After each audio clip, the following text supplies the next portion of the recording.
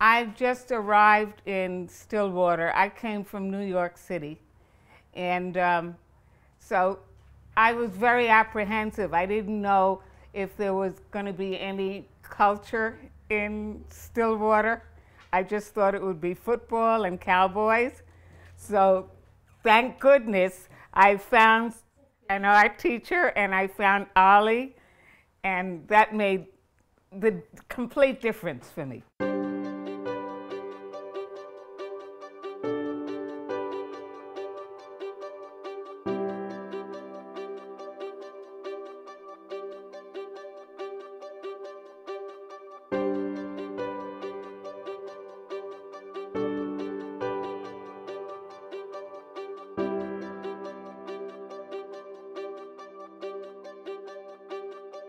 I started taking art when I retired, and I was hoping that when I got to Oklahoma that, you know, I would find some art and adult education.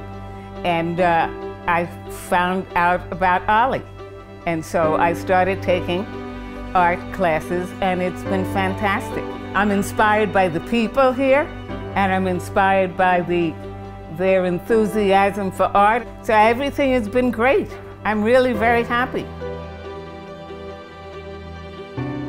Making art is something that you can pick up at any time and continue. It's like we said, not like ballet where if you don't start young, you're kind of hurting. Art is something that anybody can pick up and learn and be a maker. I think that's it. Yeah, be a maker, a creator. It's given me uh, peace of mind. Uh, it's given me uh, uh spiritual depth and, uh, you know, personal fulfillment.